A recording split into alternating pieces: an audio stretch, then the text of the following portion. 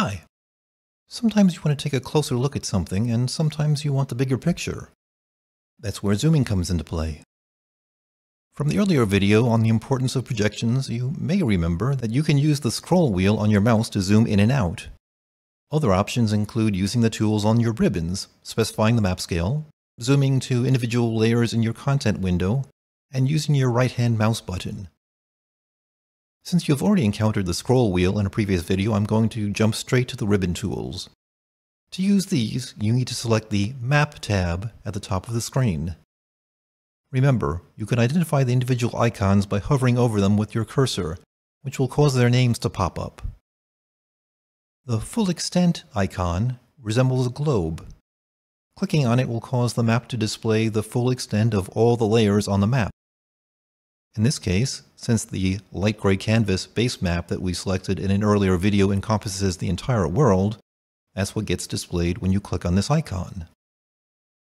This map view may look very distorted in comparison with what you're accustomed to seeing. As mentioned in the video on the importance of projections, the first dataset imported into an ArcGIS model dictates the projection displayed for that model. In our case, that initial data set used in Albers projection and what you are seeing is characteristic of Albers projections. Below the full extent icon, you will find the fixed zoom in and fixed zoom out icons. Clicking on these causes the map to zoom in and out around its current center point.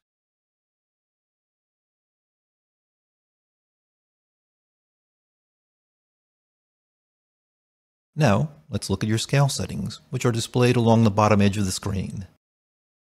There are two ways of setting your scale. Using the drop-down menu, you may select from among a series of preset scales. Alternatively, you can type in the precise scale that you want to use.